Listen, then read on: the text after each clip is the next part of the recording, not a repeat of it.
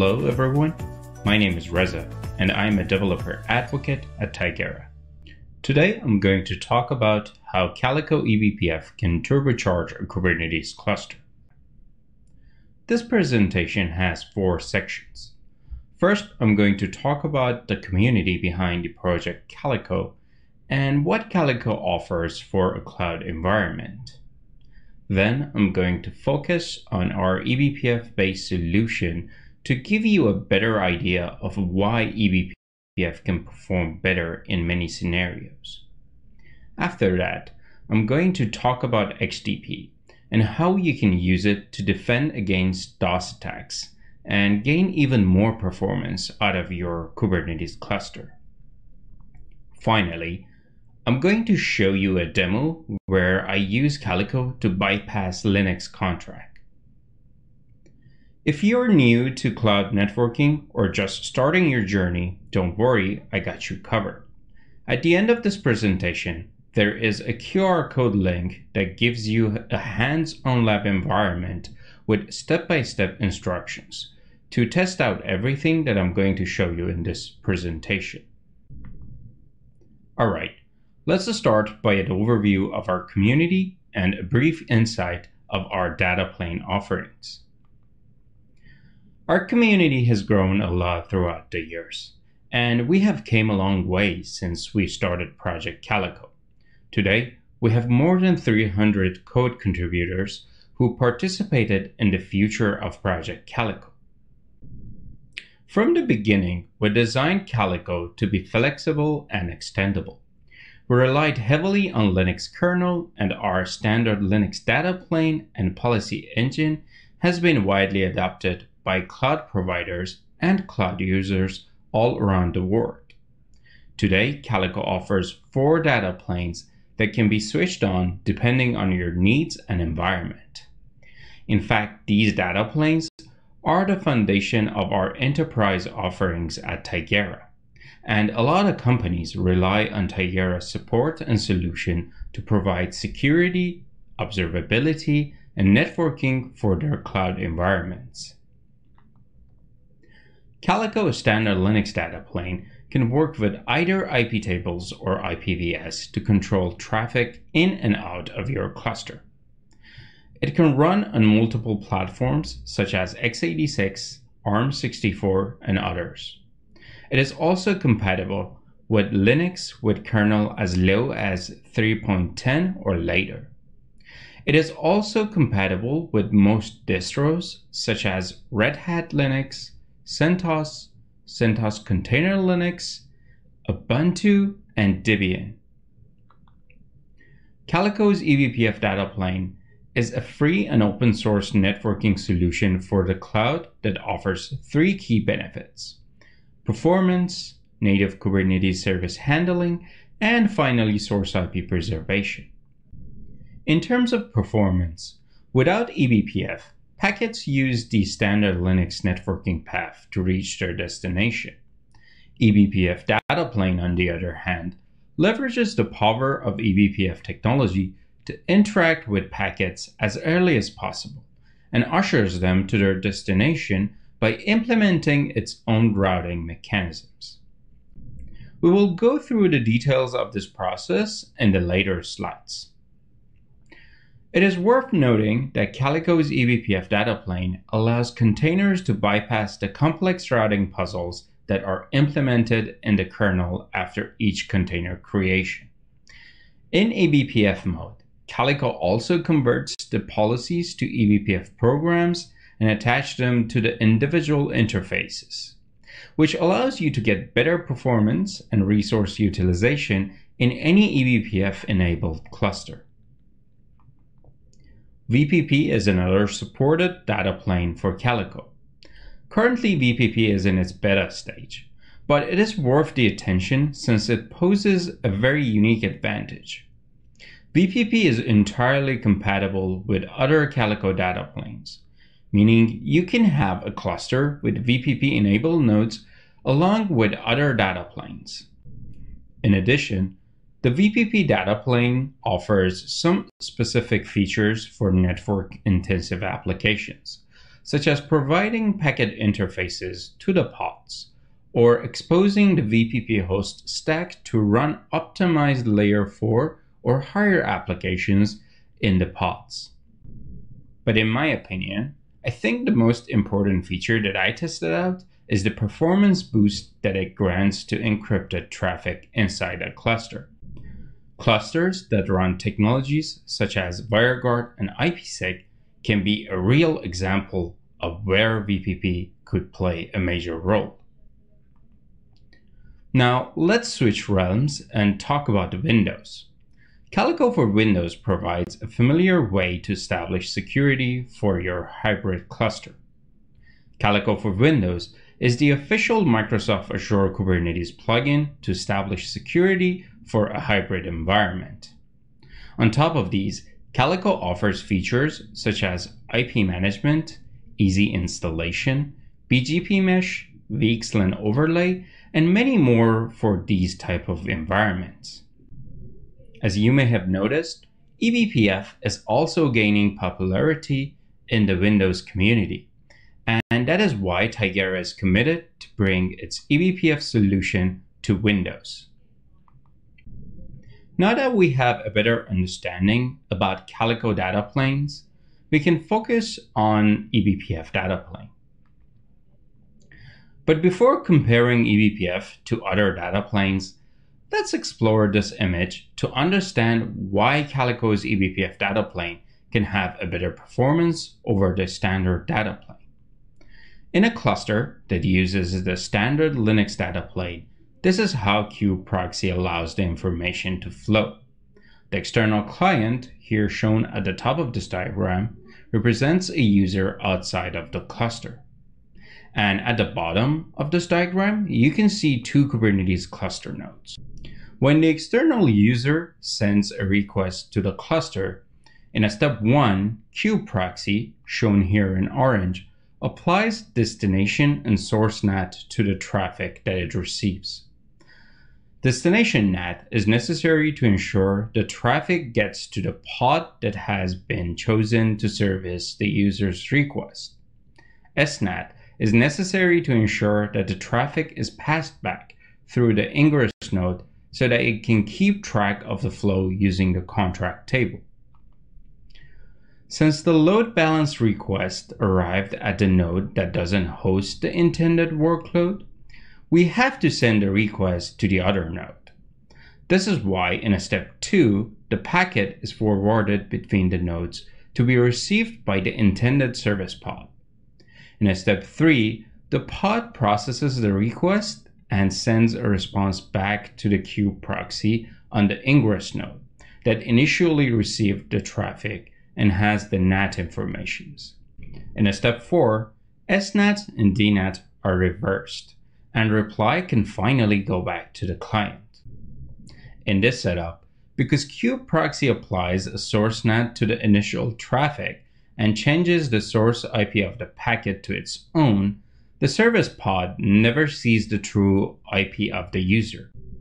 That means that the service pod is not able to make any kind of intelligent decisions such as applying quality of service or denying service based on the ingress IP, which could also be a potential problem for security too, because the audit logs on the service pod will not record the detail necessary to know where the request originated from. Now that we have a better understanding of the standard data plane, let's look at the Calico's eBPF data plane and see how it can replace the kubeproxy and achieve a better performance. Same as before, the external client is located at the top of this diagram, and Kubernetes cluster nodes are at the bottom. The only difference here is that this cluster utilizes the power of Calico's eBPF data plane for networking and security. The external client connects to a service load balanced to one of the cluster nodes. This time, in step 1, the eBPF program shown in orange forwards the packet instead of natting it to the node hosting the service pod. In step 2, only a destination NAT occurs. to make sure that the traffic gets to the service pod.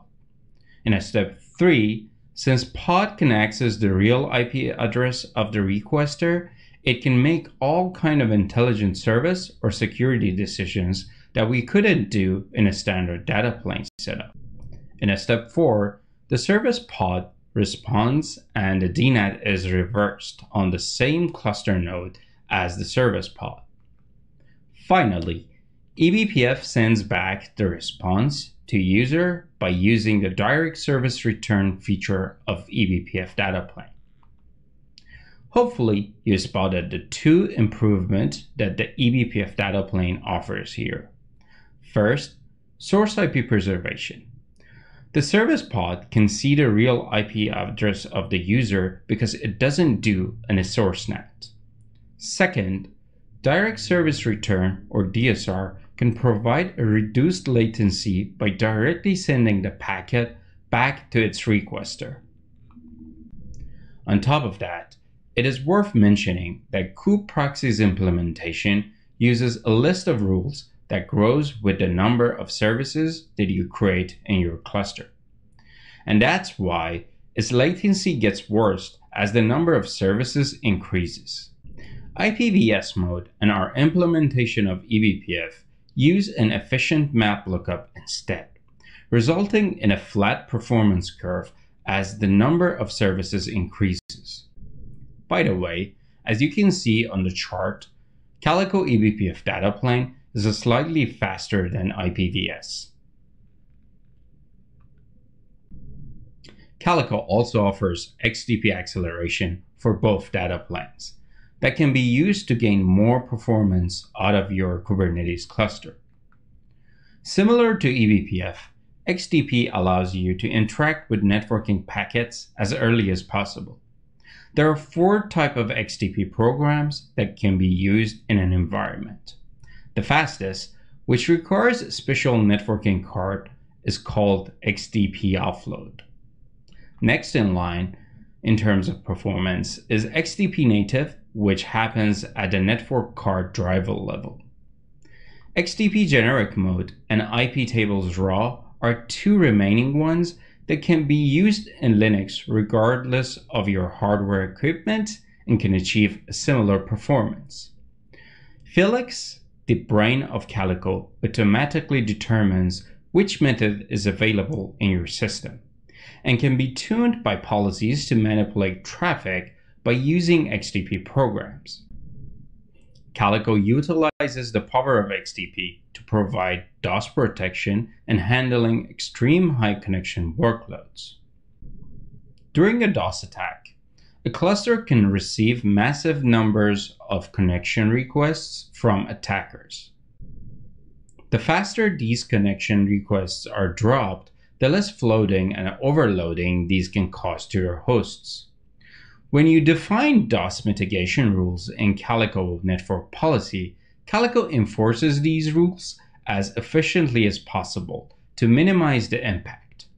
Here is all you need to do in order to defend yourself against a DOS attack with Calico. First, you need to create a host endpoint resource as the policy enforcement point for your cluster. Then, you need to create a global network set to manage the denial listed CIDRs.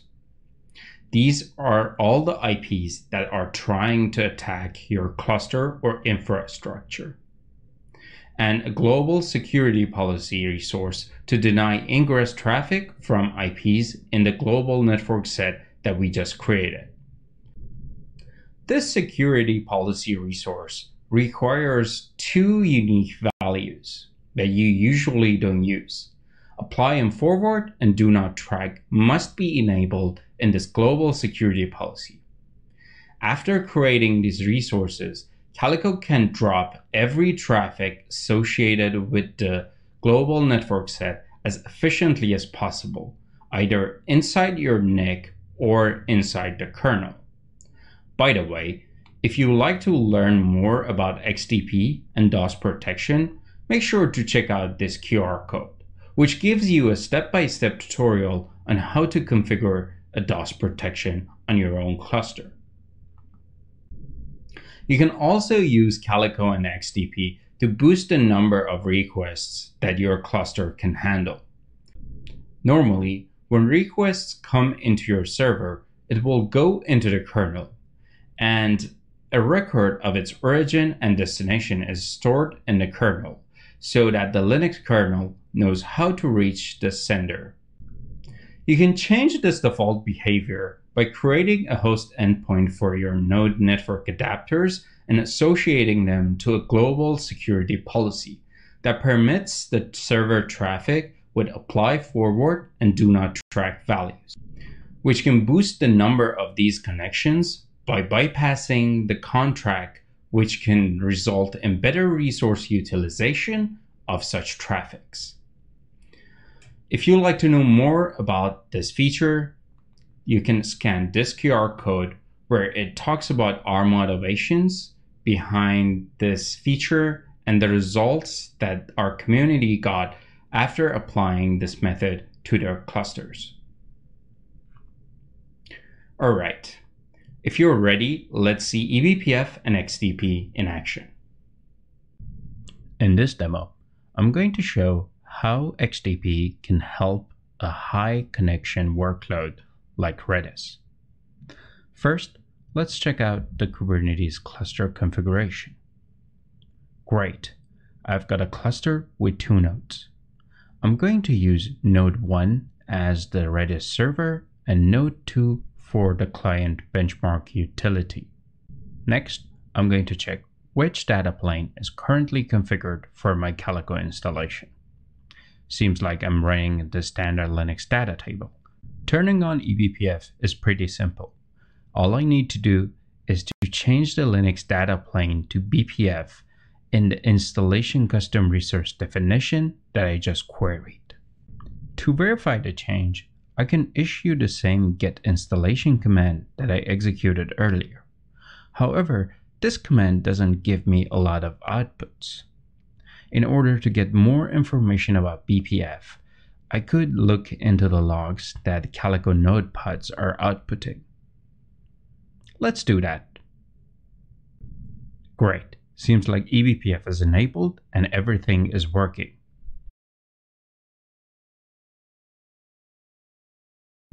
Next, I'm going to use a deployment to deploy a Redis server into my cluster. I've added a node selector to ensure that my Redis server always runs on node 2, which can help me with a lot of configurations later on. I'm also using host network in order to open up a socket directly inside my host. Great, everything is set up. And now is the best time to run a benchmark in order to get a point of reference on how system behaves when conntrack is actually enabled. For this benchmark, I'm going to use the Redis benchmark utility, which is usually available when you install Redis. I'm going to instruct the pod to be installed on the other node, node 1, and connect to my node 2, which hosts the Redis server, and create a thousand connections. I'm also going to use the power of editing in order to fast forward here and save some time.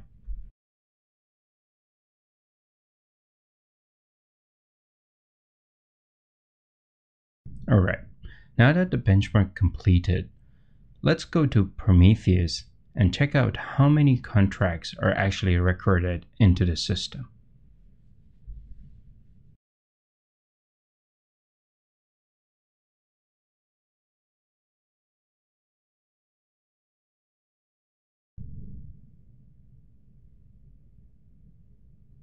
Seems like Prometheus recorded 60,000 connections during this benchmark.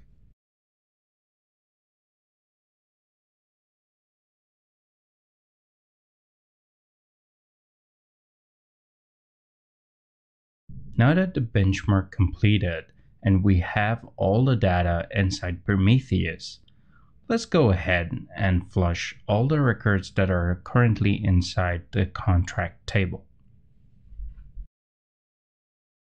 If you recall, During my presentation, I talked about host endpoint security resources and how they can allow Calico to apply security policies to the host network cards. A host endpoint resource represents one or more real or virtual interfaces that are attached to a host that is running Calico. It enforces Calico policy on the traffic that is entering or leaving the host's default network namespace through those interfaces.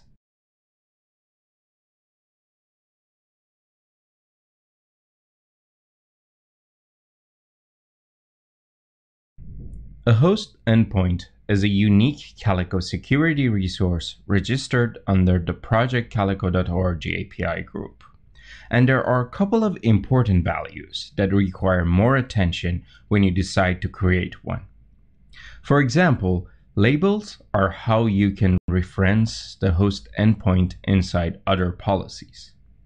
Interface name will instruct Felix, the brain of Calico, to know that this host endpoint must be applied to which host interface. Node must match your node names and expected IPs, which is crucial in order to help Calico in resolving labels that are associated with an endpoint must point to the IP addresses that are used by that interface.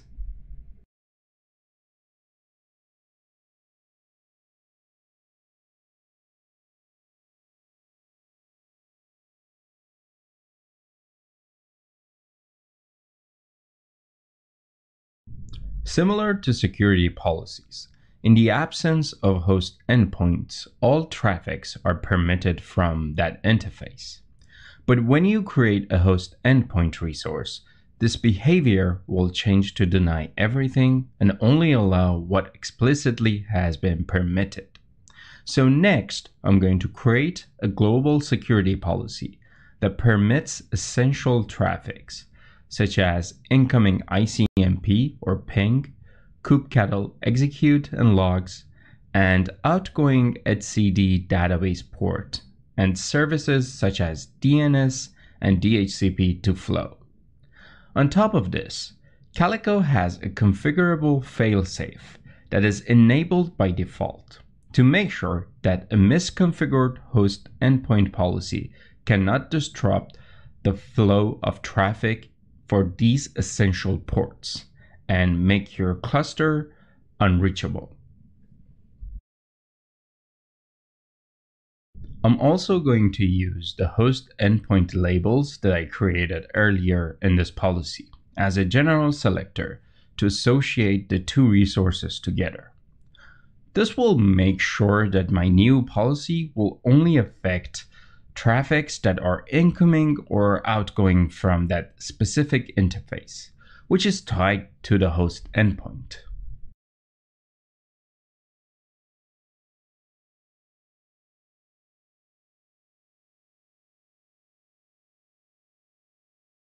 Next, I'm going to create another Calico Global Security resource to permit communication between my clients and Redis server.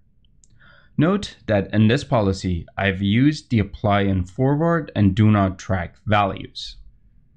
If apply and forward is true, the host endpoint policy applies to forwarded traffic, traffic that comes in via host endpoint and is forwarded to a local workload, things like containers, pod, VMs, uh, traffic from a local workload that is forwarded out via a host endpoint and traffic that comes in via a host endpoint and is forwarded out via another host endpoint. If you take a closer look at this policy, you can also see that I've created both ingress and egress rules for my Redis workload. Since I'm disabling conntrack by using the do not track value in my policy, if I write a single ingress rule without a proper egress, the packet will reach my cluster. However, since Linux has no records of that traffic origin in its conntrack table, it cannot send it back to its point of origin. Alright, everything is set.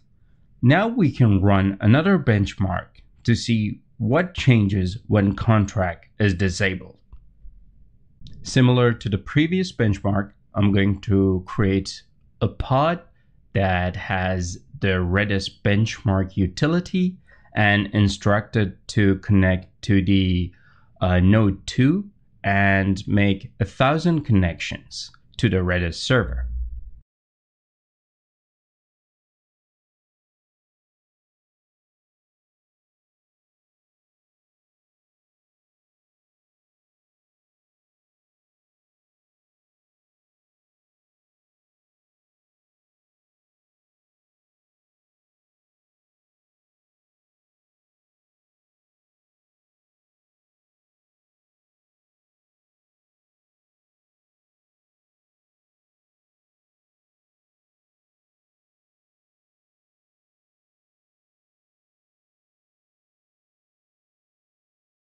Excellent. Benchmark is completed.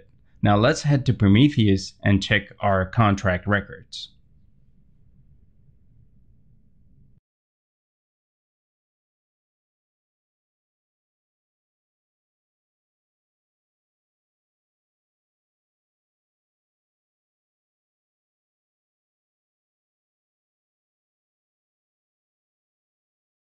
As you can see, while our client host is making more than 50,000 conntrack entries, our Redis host is stuck at 242, which I would assume are for other processes that are running inside the host. Now, keep in mind that in this demo, I've only focused on number of conntrack entries because it's quicker to measure XDP's effect on them. But using XDP has other benefits, such as better resource utilization and blazing fast networking decisions. In fact, if you have an application that can handle a lot of requests, but it's held back by kernel conntrack limitations, you can scale it by implementing Calico and using its eBPF and XDP capabilities. Other than scaling high connection workloads. Another use case for Calico and XDP is DOS protection. Since XDP can handle massive number of requests very efficiently, you can use it to drop malicious connections rapidly and only allow good traffic to hit your backends. All right, uh, that's the demo. As promised, you can scan this QR code to access the hands-on lab environment that allows you to experience Calico's eBPF data plane and XDP. You will be able to read a step-by-step tutorial and see everything in a live environment. So that's the end of my presentation. I hope you have enjoyed it and I'd like to thank you for viewing.